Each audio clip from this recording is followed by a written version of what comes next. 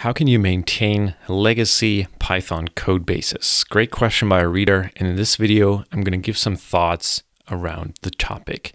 So let's define what a legacy Python code base is. So generally, when people refer to legacy code, they mean code that has aged a little bit. You know, we're talking about an older code base. Maybe this is some code written in uh, Python 2.5, 2.6, um, Python 2 in general, or maybe it's you know it's even older. It's a system that's kind of uh, hobbling along on Python 1, and it's never been upgraded to the latest version of the language.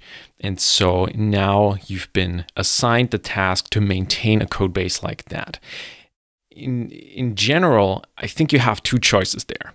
Either keep it on life support, keep it running as is, don't upgrade to a newer version of Python. Or option two, you're gonna upgrade it to a newer version of Python. You're going to take the code, um, you're going to make some refactorings, and you're going to make it work. You're going to take the existing code base and going to make it work on a more recent version of Python or uh, on the latest version of Python, even. So these are kind of the two options that you have really right?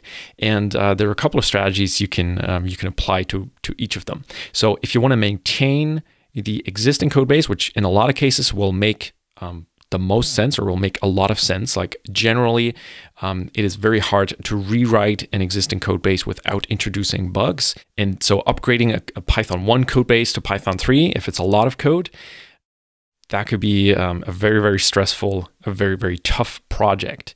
Um, not saying it doesn't make sense, but it is often very hard to make a real good business case for doing that.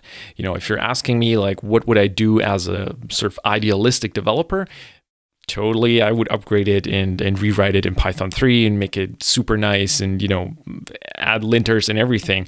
But sometimes that is not the smartest business decision. You know if this thing generates value maybe you don't want to touch it and you want to focus on something else or your employer wants you to focus on something else. So you know, if you have to maintain a legacy code base, then um, that's that's just a reality of it. And you can do some things to make your life a little bit easier if you're maintaining a legacy Python code base.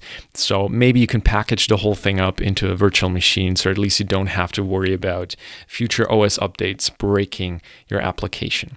You know, maybe maybe you can do things like that that basically seal this thing off and kind of preserve it and keep it hobbling along. And hopefully, you don't have to make too many changes to it.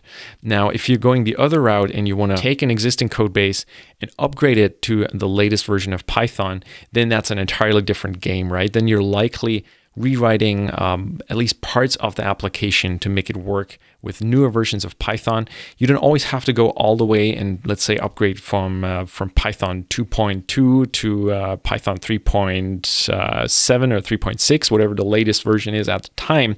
Um, sometimes it can just make sense to go to the latest version of Python 2, for example. You know, it's a lot more work to go from Python 2.2 to Python 3 um, compared to going from Python 2.2 to Python 2.7. And Python 2 is going to be around for a long time. So if you're on 2.7, then you know that gives you some more mileage out of the existing code base without having to make uh, more drastic changes. And really, those I think are the two main options that you have for maintaining a legacy Python code base. Either keep it around, make it bearable, or upgrade it to the latest version or a newer version of Python. All right, I hope this was helpful. If you've got any tips to share on how to work with legacy Python code bases, then please leave a comment below. If you've got a request for a video that you'd like me to make on Python or software development in the future, then please also leave a comment and I'll try and cover that in a future video.